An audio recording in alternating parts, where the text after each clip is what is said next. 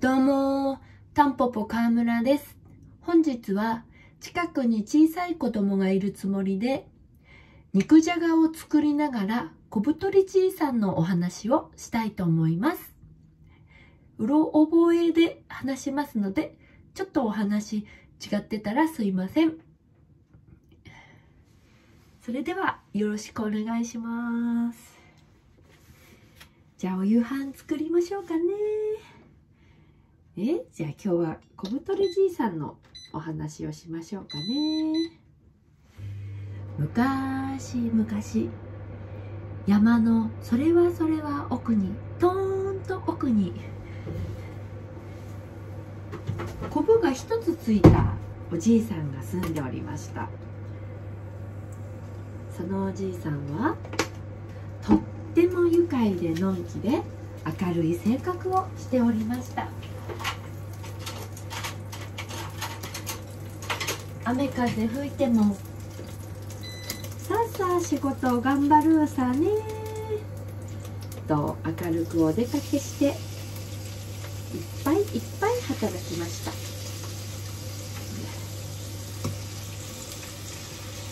ある日その愉快な小太りじいさんがあある日愉快なこぶこぶのあるじいさんが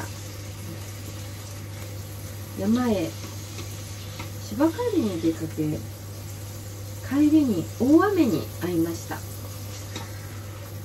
あーこれは困ったの。雨がいっぱい降ってきたの。村まで帰ることができないので近くのオランダで少し雨宿りをすることにしました。でも明るくてのんきなじいさんは雨宿りをしているうちにぐーぐーぐーぐーと眠ってしまいました。ふと目が覚めるともう辺りはトーンと暗くなっていてそれはそれは夜中の真夜中でございました。さあどうしよう。雨は止んだけどもどうやって帰るんかな。穴をそーっと出てみるとどこからか。ドンキャラドンドン我は鬼だとドンキャラドンそれ歌え。それのめのめ。それそれそれドンキャラドンと賑やかな出囃子とともに明るくて楽しそうな声が聞こえてまいりました。声の方にゆっくりゆっくりそーっと行ってみるとなんとそこにはたくさんの鬼たちが集まって飲めや歌えのどんちゃん騒ぎをしておりました。のんきで明るいじいさんはダンスも踊るのもお酒もすごく大好きだったのでその鬼たちが踊る出囃子に合わせて鬼たちの中に入っていってしまいました。ああいつは何者だ？え？なんだ？右側に一つコブがついてるぞ。あなんだ？クソじじいじゃねえか。鬼たちはざわつき始めました。ただのんきで愉快なじいさんは踊るのが大好きだったので鬼の中に自然と入っていきピーヒャラドンドンピーヒャラドンドンとそれはそれは楽しそうに踊り出しました。はいじゃがいも人参玉ねぎ入れます。あまりにものんきで明るいじいさんが明るく楽しそうに踊るので鬼たちもいつの間にかピーヒャラドンドンピーヒャラドンドン楽しくなってきました。それ歌えそれ踊れ。鬼の宴じゃどんどんぴゃどんぴゃらどどんどんどんどんぴゃらど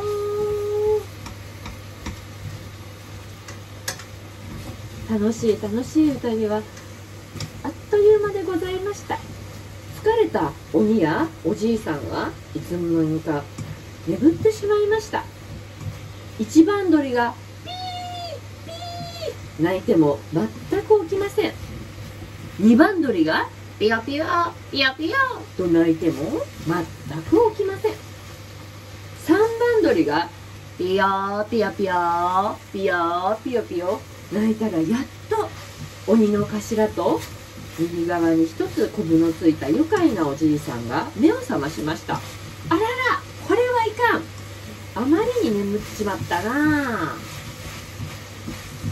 鬼の頭はじいさんとの宴がものすごい楽しかったので「おいじじい明日の夜も来るぞよ」と言って「来ないとダメぞよ」と言って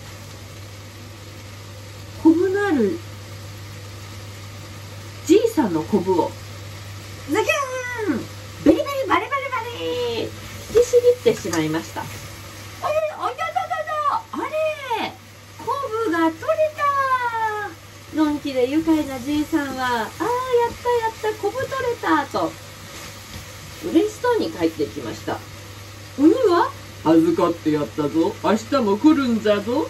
そんなつもりでしたがのんきで愉快なじいさんにとってはこんないいことありません。コブが取れたのですからそして村へ帰っていきました。そこであったのがその村にいるもう一人コブのあるじいさんでした。そのじいさんは暗くて陰湿ですぐに怒るじいさんでした。心が狭くて仕方がありません。ガキ大将が「おいおめえのコブ変なコブ!」って言ったらその暗くて陰気なじいさんは「なんだと？この野郎殴ってやるぞ!」と言って追いかけたりしました。そのじいさんにコブが取れた愉快なのんきなじいさんが会いました。ああお前さんのコブなくなっとるじゃないか。一体どうしたんぞよ。愉快なじいさんはカクカクしかじかカクカクしかじか。昨日の晩あったことを暗くて陰湿なじいさんに説明しました。おお暗いじいさんはなるほど鬼の宴に参加して一緒に踊ればコブを取ってくれるんじゃの。うそんないいことはないの。ヒヒヒヒヒ陰湿なじいさんは。早速山の奥へ奥へ出かけました。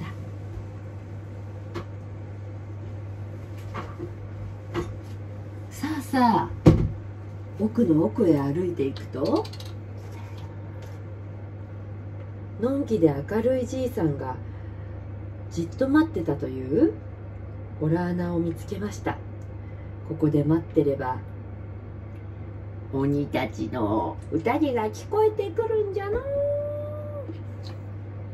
そう思って陰湿で暗いじいさんはじっとじっと待ちました。暗くて陰湿なじいさんなんで待つことは何ともありません。そして深夜12時も回り夜中になった頃。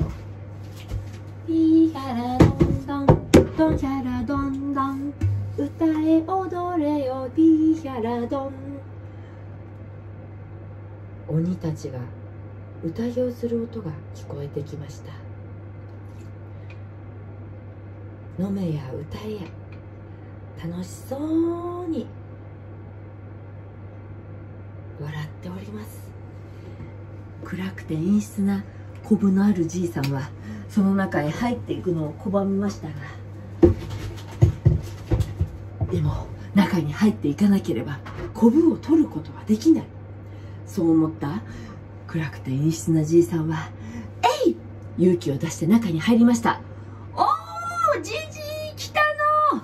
ああまた踊りに来たのか？ほほほほほ。楽しそうに踊れよじじい鬼たちがワンワンと騒ぎ出す。騒ぎます。暗くて陰湿なじいさんは気持ちを「えい!」と込めて踊り出しました。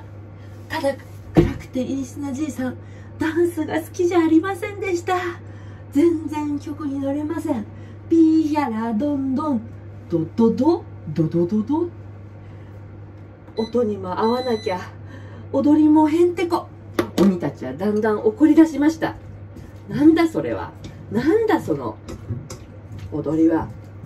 えいお前はどういうつもりで来たんじゃ。やめてくれ。鬼の頭はその暗くて陰湿のじいさんの顔をじーっと見てな何をするんですか？鬼頭さん。できたら私のコブを取ってください。暗くて陰湿なじいさんは一生懸命お願いしました。お願いしやす。昨日ののんきで明るいじいさんのように取ってくださいお願いします。鬼頭はでもカンカンです。それどころではありません。ええい！コブなんか取るかもう一つくれてやるガシャーその暗くて陰湿なじいさんにコブをもう一つつけてしまいました。そうです。昨日ののんきで明るいじいさんのコブをつけたのです。暗くて陰湿なじいさんはコブを取ってもらいに行ったのにまさかの2つコブになってしまいました。えー、えー、泣きながら命からがら鬼たちのもとを逃げました。こうして明るくてのんきなじいさんは鬼の宴に行きコブを取ることができ暗くて陰湿なじいさんはコブがまさかの2つになりそれからずっとそのまま暮らすことになりましたとさおしまい。ふんわり小太りじいさんでした。まあだからこれは明るくて前向きな方がきっと時期にいいことがあるよ。あんまりくよくよ考えない方がいいよ。郷に入ったら郷に従えってことなんだな。そういう昔話でした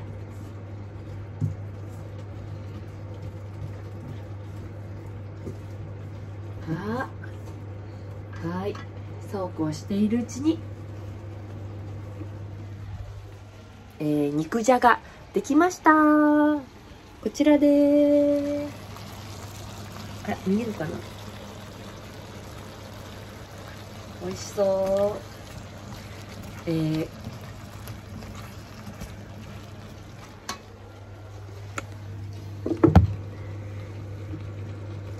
えー、小太りじいさんのお話一つ分で肉じゃがができることが分かりました。今日のお夕飯は肉じゃがにしたいと思います。